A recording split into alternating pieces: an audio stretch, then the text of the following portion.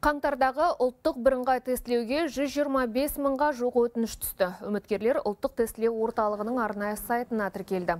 Кеше басталған ұбыт 10 ақпанға дейін жалғасады. Ал Астанадағы тестілеу орталығында бүгін жоғарғы оқу орнына шартты түрде қабылданған 44 студент ақылы сынақ тапсырып жатыр.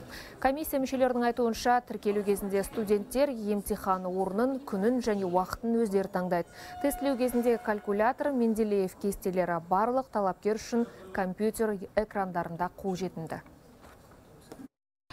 IT саласындағы мамандықтарға бейіндік пән математика және информатика болып табылды биыл енді бізде жалпы өзгерістер жоқ бірақ қазақстан тарихында тестілеу сұрақтардың саны жиырмаға өзгертілді. Биыл бұрын 15 болды. Оқу сауаттылығының сұрақтары 15 беске он бес сұраққа дейін қысқартылды.